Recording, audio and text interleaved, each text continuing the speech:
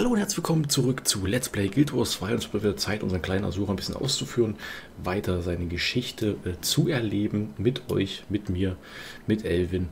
Und dann würde ich sagen, nicht lang schnacken, wir gehen weiter, beziehungsweise ja, wir haben ja direkt eine Herzchen-Quest jetzt voraus, gucken mal, was äh, Forscher Kai von uns möchte. Sprecht mit Kai, um sein Protogolem äh, zu testen. Dann untersucht die elektrischen Verzerrung und erstattet Bericht repariert Schrott 80 TS und belebt sie wieder. Dann reden wir mal mit Kai. Wie interessant. Ja, wenn du das sagst. Ich bin dafür verantwortlich, in Comp Optik Schrotthaufen zu verwalten. Ich gebe zu, es klingt nicht gerade nach einer glorreichen Aufgabe, aber es ist eine wichtige Arbeit. Ihr scheint mir hervorragend geeignet, mir bei einem speziellen Projekt zu assistieren. Seid ihr interessiert? Wie kann ich helfen?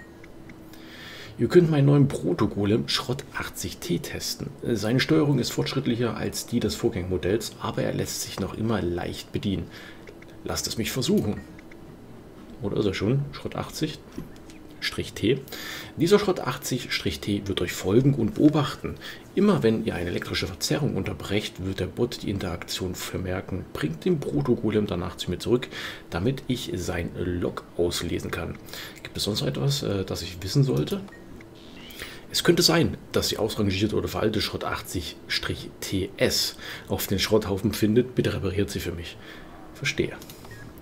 So, der einen oder anderen ist es vielleicht gleich zum Anfang aufgefallen. Und zwar habe ich mal wieder, ich glaube, das müsste das Beil gewesen sein. Äh, falsche Taste. Gehen wir kurz da rein. Genau, ich habe das Beil wieder reingenommen, weil mir das zum Anfang eigentlich äh, sehr gut gefallen hatte. So die einzelnen, sage ich mal, Fähigkeiten, die wir zum Anfang haben. Und ich wollte jetzt nicht zu viel ausprobieren, ein bisschen, sage ich mal, mich auf eine Waffe äh, fixieren. Klar können wir dann später, sage ich mal, ein paar andere ausprobieren. Aber erstmal nehme ich das Beil, weil ich diese Attacken eigentlich recht nice fand. Beziehungsweise ich muss halt noch ein bisschen lernen, mit diesen äh, Zustände verzehren oder mit äh, Todesschleier umzugehen. Wer den anderen Let's Plays noch nicht geschaut hat, Todesschleier, nehmt eine Spektrum Spektralform an und erhaltet neue Fertigkeiten, wandelt eure Lebensenergie in Lebenspunkte um und äh, die andere Fertigkeit Zustände verzehren, Verderbnis, verzehrt eure Zustände und gewinnt Lebenspunkte für jeden verzerrten Zustand.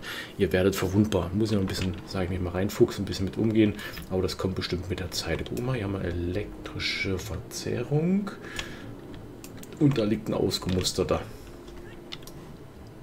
Ja, was mal reparieren, ja? Fummel, Fummel. Ja, haben wir gut hingekriegt. Blitzt noch ein bisschen, aber ansonsten... Oh, euer Protogolem-Partner piept und ist so zufrieden. Brave Junge. Kopftätschel. Achso, das sind der halt, das saugt er dann auf. Okay, da war ja was. Hat er das auch? Uh. Da kommen blaue Schleimis raus. Wenn man Pech hat. Hat er wieder aufgesaugt. Brave Junge. Was war das? Ein Frosch. Äh. Kann man aber nicht, ne, doch sieht man die Äuglein Quark äh, erkennen. Und da kommt wieder ein blauer Schleim. Oh, die gehen aber recht gut down eigentlich. Und Punkte gibt es eigentlich auch ordentlich. Also die Quest ist, glaube ich, schnell gemacht. Inquestur-Mechanikerin. Äh, hier rennt ihr also auch rum. Und dieser äh, Golem hilft uns auch noch. Also geht das recht fix hier. Durchsichtiger Schleim. Gibt es auch noch unterschiedliche. Und schon haben wir die Herzchenquest fertig. Na, mal lesen. Müll aufsammeln. Elvin, ich möchte meine Dankbarkeit zeigen. Meine Crew arbeitet hart am zähesten Verteidigung Golem der Welt, aber wir dürfen auf die Gefahren eines unbeobachteten Schrotthaufens nicht ignorieren. Ich bin zuversichtlich, dass meine Crew dies äh, wie ihr erkennt. Hab Dank, Kai. Gucken wir gleich mal, ob er irgendwas für uns noch hat, beziehungsweise wir können ja mal gucken. Kommt, ich hebe mal auch noch auf hier. Hammer. Schrottgolem. Liebe, kleiner Freund kleine Frische. Hier liegt er ja schon nieder. Macht er kleine Schläfchen hier was? So, komm. Gibt, glaube ich, auch äh, EP, wenn man, äh, sag ich mal, befreundete NPCs aufhebt. Aber wir machen es natürlich, versuchen hier jeden wieder zu beleben. Da liegt noch einer, aber wir reden erstmal mit Kai. Schön euch zu sehen, Elvin. Habt ihr was für mich? Gucken, haben wir da Schrott 80T Alchemisten, Reserver, Aber wir werden hier, denke ich mal, nichts kaufen. Wir sammeln uns einfach unsere Gegenstände. Ein bisschen Schrott können wir verkaufen. Muss ich sowieso mal gucken. Mit, mit Taschenplätzen sind wir ja nicht so gut besät. Vielleicht finden wir noch unterwegs welche. Ansonsten vielleicht besorge ich mir mal welche. Schauen wir mal. So. Gehen äh, weg mal auch nochmal zum Leben zurück unseren kleinen Freunden. Dann gucken wir mal auf die Karte. Hier unten sind wir dann eigentlich fertig. Jetzt könnten wir hier einmal durchs Wasser. Da haben wir eine Sehenswürdigkeit, würde ich fast sagen. Ähm, könnten wir einfach mal so machen, würde ich sagen. Ja, komm, wir gehen mal rüber. Ab durchs Wasser.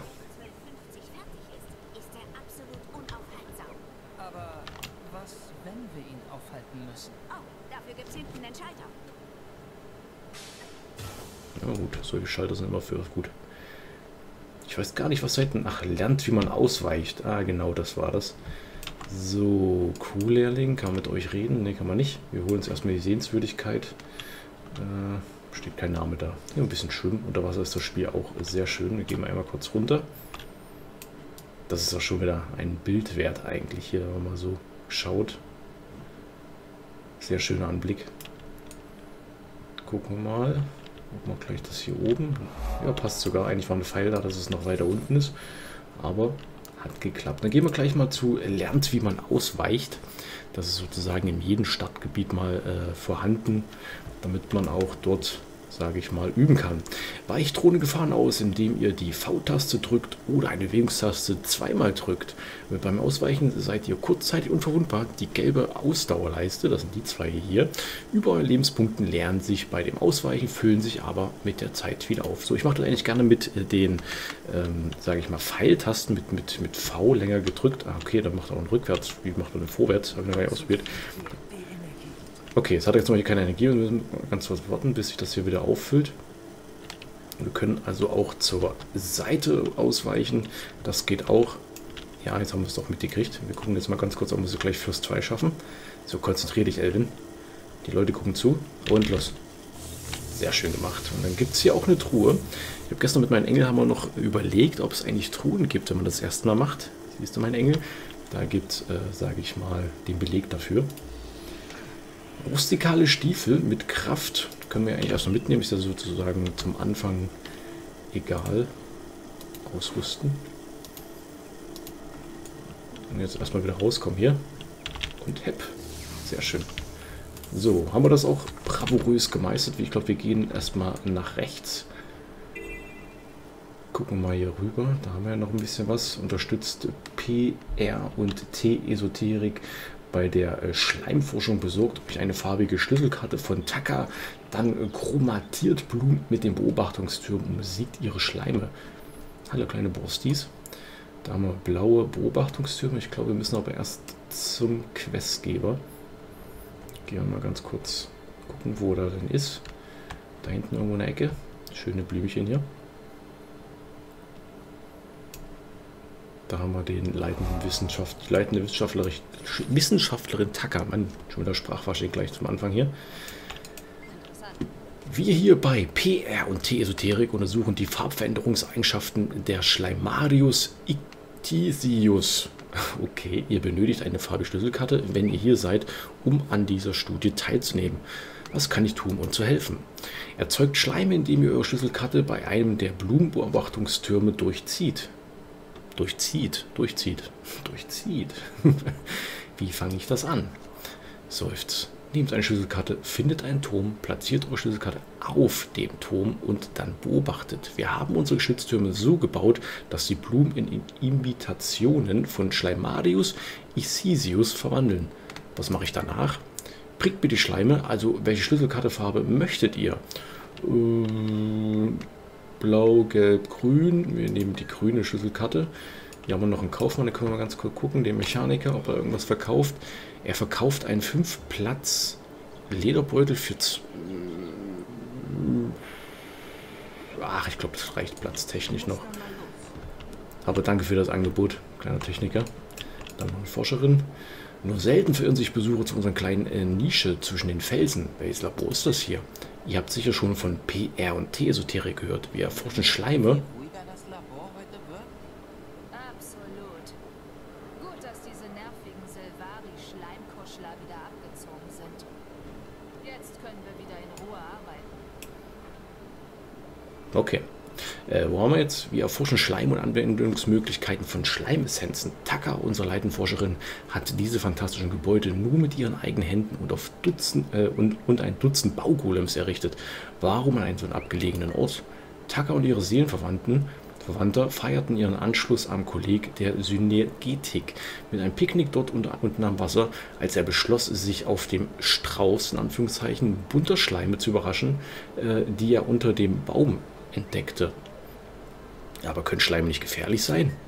Sie waren die Besten ihres Jahrgangs. Er nicht. Bevor Tucker ihn warnen konnte, griff ihn äh, die bunte Sammlung von Schleim an, überzog ihn, verdaute ihn und schied ihn aus. Wie Ameisen bei einem Picknick, nur noch schlimmer. Oh Gott. Wie hat äh, sie diesen tragischen Verlust verkraftet? Sie widmete ihr Leben der Forschung von Schleim, in der Hoffnung, eine Verwendung für sie zu finden, um äh, ihren Blutdurst zu stillen. Bereitet äh, sie ihnen so viel Unbehagen wie wissenschaftlich möglich. Es ist eigentlich recht romantisch, wenn man darüber nachdenkt. Auf eine ziemlich ungewöhnliche Art. Ja, lebt wohl. Naja, so kann es natürlich auch passieren, wenn man ein Geschenk machen will. Da kann man noch mit, mit, mit dem Forscher reden. Schleim sind eigenartige Organismen. Nach Jahren der Forschung erhalten wir erst jetzt allmählich einen Einblick in ihre Beschaffenheit und Eigenschaften. Interessant. Ich glaube, hier war noch jemand, oder? Ein Lehrling. Huch, Entschuldigung. Ja, ja. In einem biochemischen Aufbau des Schleims liegt der Schlüssel zum agrarwirtschaftlichen Erfolg, der astrasynergetischen Diffraktion und möglicherweise neuen uniglobularen Energiequellen. Habt ihr Beweise dafür? Wir haben Theorien, die noch nicht gründlich durch Tests belegt sind.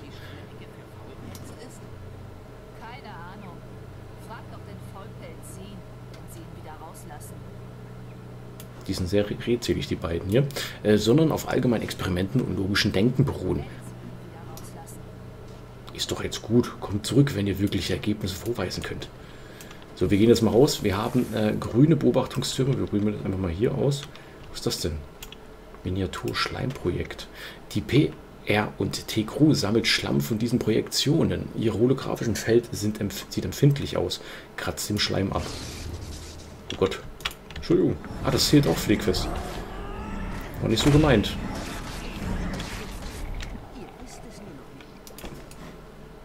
Wer, wer hatte uns schon wieder... Ich höre schon Stimmen hier. Auf einer... Ist da ein Event? Oh, das ist ein Event. Da gehen wir schnell hin. Unterbrecht die Schleimprojektion und töte diesen Schleim, um das PR und T Schleim, äh, Schleimschlammreservoir aufzufüllen lassen wir uns natürlich nicht lumpen. Ist natürlich ein bisschen von der Ferne. Den nächste Schuft, Schleimreservoir auf, aufgefüllt. Können wir irgendwas machen? Ich weiß gar nicht. Oh Gott, da hat sich einer Schlafe gelegt. Wie auffüllen? Die Füllche. Äh. Oh Gott, Ich werde euch rächen. Kann man die aufheben? Ne, kann man nicht aufheben. Aber jetzt füllen wir es auf. Oh Gott. Die Armen, da liegen sie alle. Eine Schwarzlöwentruhe, jawohl. Gleich mal aufheben hier noch, schnell. Komm, das schaffen wir noch. Oh Gott, das wird eng. Wenigstens einen aufheben. Also viel Damage macht er ja nicht. Die bleiben aber auch in der AOE einfach stehen. Ne? Also da sind sie ein bisschen blauäugig, die kleinen Mechaniker und Forscher. Beziehungsweise eine ganz eisern. Okay, kaum habe ich es gesagt. Wir sind bei 33 Prozent. So, 44 Prozent. Bleib hier. Geiler Sound hier. Vielleicht sollte ich erstmal wiederbeleben, machen wir das mal so. Taktisch clever. Gucken, ob das geht oder unterbrochen werden. Ja, gut, er fügt uns schon ein bisschen Schaden zu, aber das mal wenigstens mal ein aufheben. Können wir gleich mal ausprobieren hier. Die Spektralform. So. Zack. Was haben wir jetzt für Fähigkeiten? Verdammnis, dunkler Pfad und Lebensexplosion. Boah, das sieht ja cool aus. Alter Schwede. Komm her, du Schuft. Das sieht ja cool aus.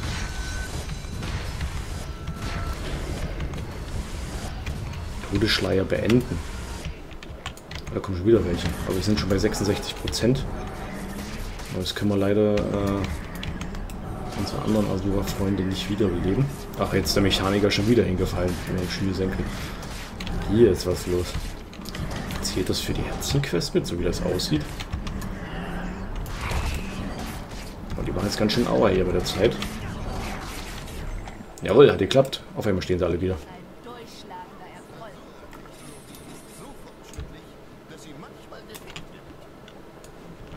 Okay.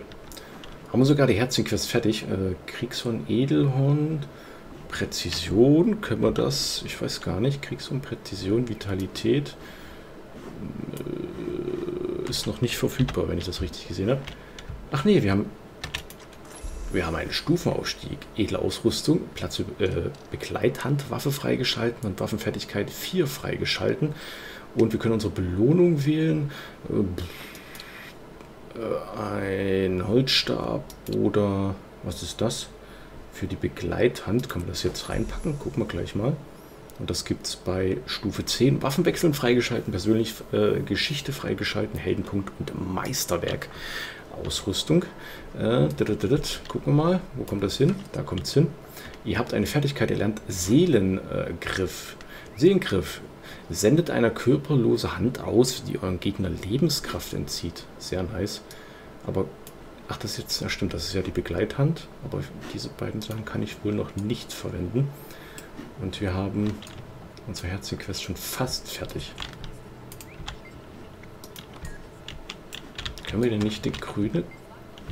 Auf der Notiz steht grüne Schlüssel erforderlich. Bitte begebt euch zu Tacker. Wir haben doch aber einen grünen Schlüssel, oder bin ich jetzt... Oder ist der weg? Kratzt Schleim. Dann machen wir es halt so. Probieren wir gleich mal die Fähigkeit aus hier.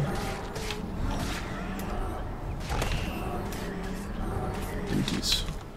So. Wir können das auch einfach bei denen hier machen. Ich wollte eigentlich mal, haben wir keine grüne Karte oder hat das nicht geklappt? Ich gehe nochmal zurück. Hm, ach, ich bin falsch, ich bin ein Kaufmann. Guten Morgen. Ähm, hier können wir noch was fragen. Was für einen Nutzen hat es, die Farbdingsbums zu erforschen? Schleim. Metach, äh, was, Metachromatologie hat unzählige Anwendungsmöglichkeiten. Es kann in allen entdenklichen Gebieten zu wissenschaftlichen Durchbrüchen führen. Außerdem werde ich berühmt, wenn ich diese äh, Formel knacke. Klingt wichtig, wie kann ich helfen? Viel Erfolg bei der Forschung. ähm, wir machen mal, wie kann ich helfen, damit ihr nochmal äh, erzeugt Schleim, indem ihr euch Schlüsselkarte bei den, ich gehe los und knall ein paar Blumen ab. Äh, wie fange ich welche? Das hatten wir ja schon. Wir nehmen nochmal eine grüne, gucken mal. Ob das diesmal klappt, weil einmal, ich würde eigentlich ganz gern mal... Ja, jetzt geht's. Okay, warum das zum Anfang nicht ging, I don't know. Vielleicht habe ich auch einen Fehler gemacht. So. Äh, wo haben wir noch eine grüne? Da haben wir noch eine grüne. Hepp. Dann sind wir fertig mit der Herzenquest. Aber ein Schleim wird noch auftauchen. Ein roter. Was ein roter Blumenschleim. Was jetzt davon? So. Meine Crew hat sich bisweilen als ziemlich unfähig bewiesen, aber ihr habt euch äh, keinen Fehltritt erlaubt. Wir werden euch vermissen. Bitte kommt mal wieder äh, und besucht uns. Wir würden wirklich gerne äh, wieder mit euch zusammenarbeiten. Taka. Gucken wir mal noch eben, bevor wir weiterziehen. Was? Hat noch was gesagt, was wir nicht kannten? Schön euch zu sehen, Elvin. Meine Forschung äh, macht gute Fortschritte, was ich auch euch zu verdanken habe. Wenn ihr meiner Crew nur für eine Weile beitreten könntet, würde ich unbegrenzt Ruhm erlangen. Was verkauft ihr? Schleimtopf. Auch wieder Stiefel. Wir verkaufen unseren Schrott, den wir nicht brauchen. Und dann gucken wir mal. Da haben wir noch eine Herzchen-Quest und eine Heldenherausforderung. Ja, von der Zeit her müssten wir das, wir machen mal die Herzchen-Quest noch und die Heldenherausforderung. Das wäre auch ein schönes Bild hier. Was für ein Ausblick und was für Farben hier. Hallo, Dschungelporky. Geht es hier unten lang? Ich denke. Wir könnten auch reiten, aber ich habe mir einfach gedacht, ähm, ist, finde ich, auch ein bisschen der falsche Weg. So kann man ein bisschen mehr die Umgebung, äh, die Orte auch auf sich wirken lassen. Ansonsten würde ich sagen, verliert man einiges aus den Augen und äh, finde das so dann angenehmer, wenn wir halt jetzt so reisen. Gucken wir da rein.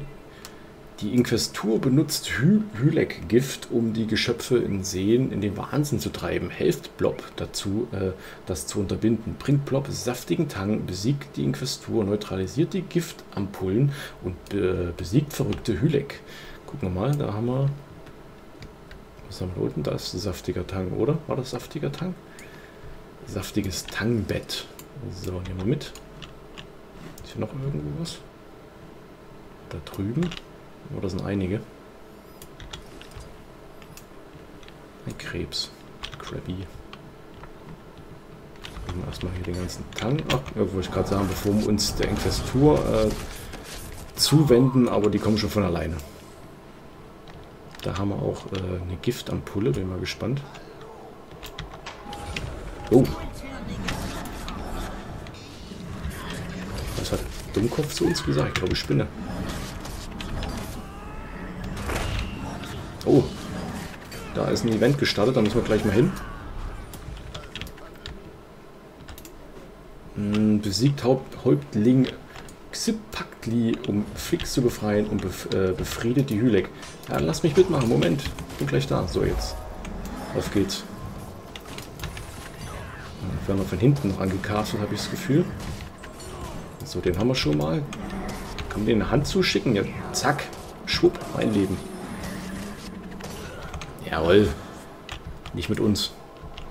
So, Giftampulle. Alle, hopp.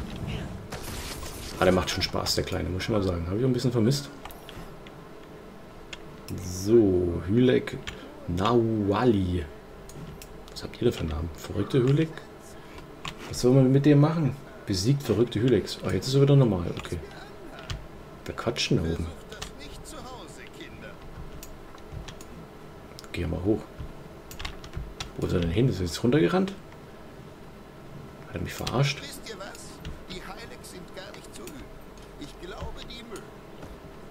Äh,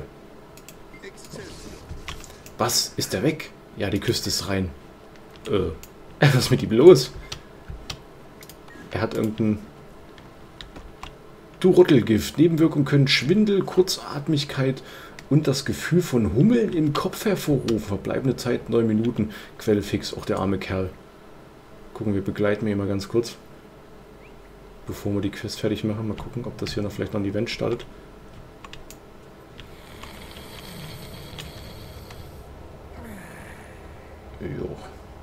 Lass ein bisschen Bubu machen. Aber wir können mit Fixhelfer reden. Oder auch nicht. Doch jetzt. Eines Tages wird sich Fix noch um äh, sein Leben bringen. Er scheint nicht besorgt. Nun, ich arbeite nicht gerade gerne für ihn. Aha. Oh, er ist schon wieder hingefallen. Ich glaube, oh, ihm geht's nicht so gut. Okay, wir lassen ihn mal weiter ein bisschen schlafen. Wir besorgen uns noch mal ein bisschen Tang. Und äh, dann widmen wir uns der Heldenherausforderung. Hat man ein bisschen das Gefühl jetzt auch, von was Guild Wars ausmacht, dass man eigentlich versucht, so ein paar Quests zu machen und sich einen Plan, äh, sage ich mal, zurechtlegt, der dann ab und zu mal über den Haufen geworfen hat, weil dann ein Event nach dem nächsten startet und man rennt dann hier, man rennt dann dort und im Endeffekt findet man sich komplett woanders wieder. Das ist halt äh, das Geile, was Guild Wars, finde ich, ausmacht. So. Die Hand sieht auch cool aus, wenn die da so rumfliegt. Gib mir dein Leben. So. Weil zu viel brauchen wir nicht mehr. Können wir so einen verrückten... Ja, toll. Jetzt ist er gerade nicht mehr verrückt. äh, wir nehmen... Wo ist denn die Heldenherausforderung? Die ist irgendwo da hinten. Die ist da hinten drin. Hier schleicht einer lang. Langfinger. Nicht mit uns. Hab dich gesehen, mein Freund. Ja, wobei, Freunde sind wir eigentlich nicht. So. So, eine Giftampulle noch und dann müssten wir es haben. Dich werden wir exterminieren. Oh, der? Ja, noch ein Langfinger daneben.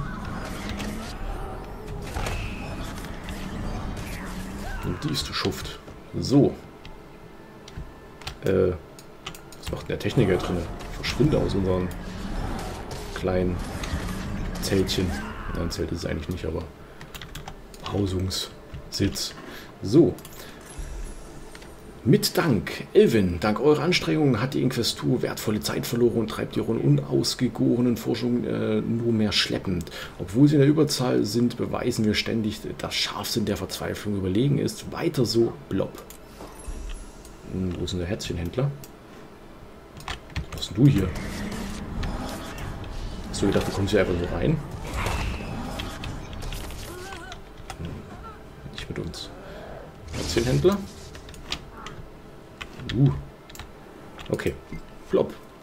Danke für eure Unterstützung. Der Inquisitur allein gegenüber äh, zu stehen ist nicht leicht. Ich bin froh, dass ihr hier wart, um mir bei meinem Kampf zur Seite zu stehen. Ich habe diesen Tang, den ihr sucht. Bitteschön. Wir hatten da wen beleidigt schon wieder. Ähm, danke für eure Unterstützung. Der Investor allein gegenüber zu stehen, das hatten wir ja schon. Wir können mal ganz gucken, was anbietet. Ein orangenen Beutel für 28 äh, Karma. Verkaufen wir noch ganz kurz. Ich wollte aber den unteren Text noch nehmen, damit wir ihn noch lesen können. Wie geht das voran? Der Inquisitur ist es noch nicht gelungen, eine Gegenmaßnahme gegen meine Gegenmaßnahme zu, gegen, äh, zu entwickeln. Sobald mein Gerät das gestohlene Gift neutralisiert hat, bleibt nichts außer ein leicht bitterer, überriechender und doch harmloser Froschaussonderung über. Na, klo äh, na großartig. Na großartig. So, wir machen jetzt noch eben noch die Heldenherausforderung. Das sind die hier. Die haben nur so ein tolles Zeichen über dem Kopf. Ich glaube, gegen ihn müssen wir dann kämpfen, gegen Utkua. Wir Hülek sind ein stolzes äh, Kriegervolk. Unsere Fertigkeiten werden von Generation zu Generation weitergeben. Sagt mir, Außenseite, wollt ihr eure Macht mit äh, meiner messen? Gut. Auf geht's. Lass uns mal duellieren.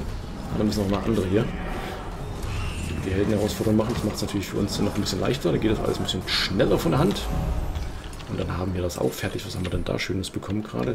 Zu schnell weggedrückt. Aber das war ein Unfall, unheilvoller Glyphenkurzbogen. Das ist natürlich nichts für uns. Aber wir haben Stufenaufstieg. Wir gehen mal ganz kurz hier in die Ecke. Stellen uns hier mal so hin. Gucken wir nochmal. Stufenaufstieg, Belohnung der Stufe 7 angeschlagen, Fertigkeit 2 äh, freigeschaltet, Panorama freigeschaltet, Schwarzlöwen Handelsgesellschaft und Rüstung reparieren, wenn, wenn eure Rüstung beschädigt ist. Habt ihr immer so ein kleines Schildsymbol, in orange müsste es glaube ich sein. Und dann kann man beim ähm, Händler oder bei speziellen Händlern seine Rüstung reparieren lassen. Kommende Belohnung für Stufe 10 hatte ich ja gerade eben schon vorgelesen. Und ich gucke mal auf die Zeit, wir sind schon leicht über die 20, ich glaube ich müssen ungefähr bei 25 Minuten, vielleicht 25, 26 Minuten äh, fertig sein wir stellen uns einfach mal hier hin, genießen den Ausblick, meine Freunde. Dann sage ich vielen Dank fürs Zuschauen. Ich schwenke mal eben ein bisschen kurz rum. Vielen Dank fürs Zuschauen. Ich wünsche euch noch einen schönen Tag, morgen Abend, je nachdem, wann das äh, Video gesehen habt. Freue mich dafür aufs nächste Mal, wenn ihr mögt, wenn ihr wieder dabei sein wollt. Bis zum nächsten Mal. Haut da rein.